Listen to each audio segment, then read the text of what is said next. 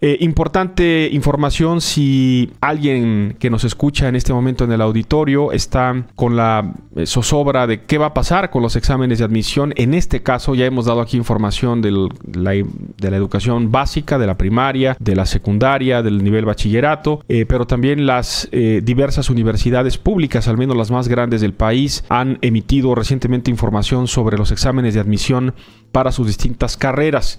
Así que por lo pronto la UNAM, el Instituto Politécnico Nacional y la Universidad Autónoma Metropolitana han dado a conocer sus fechas y calendarios. La UAM, la Autónoma Metropolitana, desde el pasado 11 de julio ha emitido una reprogramación de los exámenes de admisión para el proceso de licenciatura. Del 21 al 24 de julio se va a hacer un examen de prueba para verificar la conexión a Internet y el funcionamiento adecuado. Va a ser la aplicación de pruebas en línea del 28 al 31 de julio. Del 28 al 31 de julio, examen de admisión en línea en la UAM.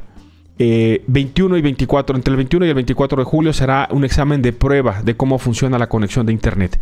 El Instituto Politécnico Nacional anuncia que posterga sus exámenes de admisión de licenciatura para los aspirantes y habilitó una plataforma https dos puntos doble diagonal elementos de aprendizaje ipn.mx para que eh, se realicen prácticas de lo que será la prueba real. Los aspirantes a la modalidad escolarizada podrán obtener sus fichas en línea del 3 al 14 de agosto. El examen de admisión será 29 y 30 de agosto y la publicación de resultados el 13 de septiembre. No se precisó si los exámenes del Instituto Politécnico Nacional van a ser presenciales. Todo indica que sí por la fecha, porque estaría en el marco, digamos, en el, calendario de las fechas para que ya haya clases presenciales y cursos de remediación, incluso en las escuelas primarias. Pero todo esto dependerá finalmente de cómo esté el, famoso semáforo en ese momento.